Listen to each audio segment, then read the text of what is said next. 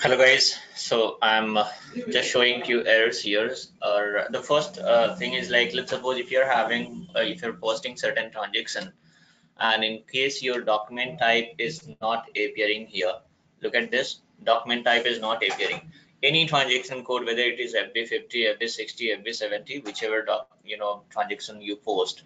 So if document type is not appearing, most likely it will happen in FB50 itself because initially itself you will come to know so in that case, you just need to click on here, editing option. Click on editing option. And then what you have to do, look at here, document type hidden is there. So you need to click on this drop down and you have to click on here, display with short name and save it.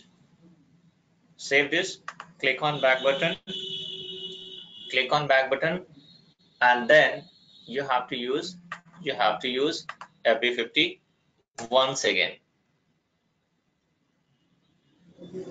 Look at here. Now document type is appearing. Now the document type is appearing.